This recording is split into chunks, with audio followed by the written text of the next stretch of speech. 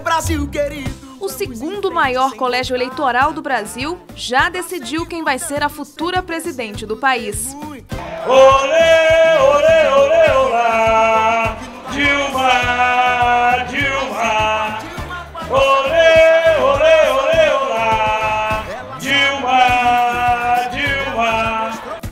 Belo Horizonte, Dilma Rousseff esteve à noite na Praça da Estação, onde cerca de 15 mil mineiros a aguardavam. Eu também tô. Veja como o Brasil já mudou. Mas a gente quer mais. Quer... Quem também marcou presença no animado comício foi o presidente da República. Lula presenteou Dilma com uma rosa vermelha, que, segundo ele, é tão delicada quanto a candidata do PT. Companheiros e companheiras, eu queria, Dilma, eu queria que você recebesse essa rosa, ah, simbolizando a calma e a tranquilidade que você teve ontem, quando foi entrevistada pelo Jornal Nacional.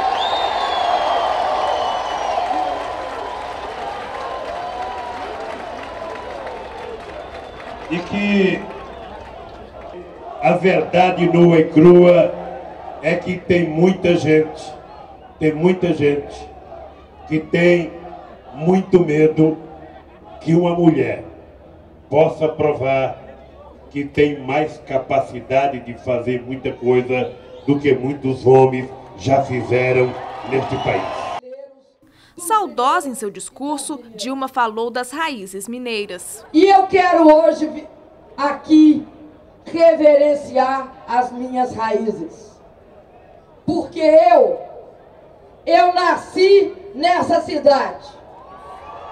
Nessa cidade. Eu vivi a minha infância. Nessa cidade eu vivi a minha juventude e cheguei à vida adulta.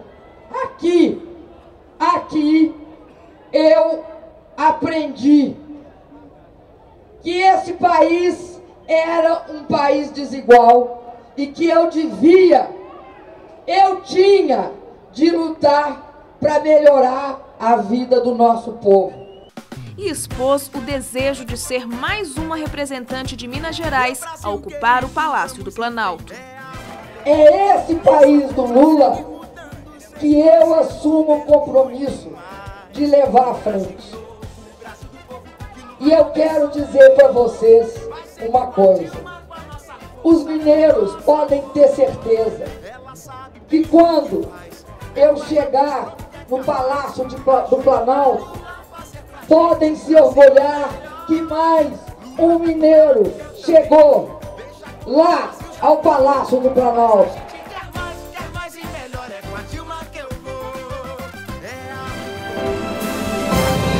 Dilma Presidente, para o Brasil seguir mudando.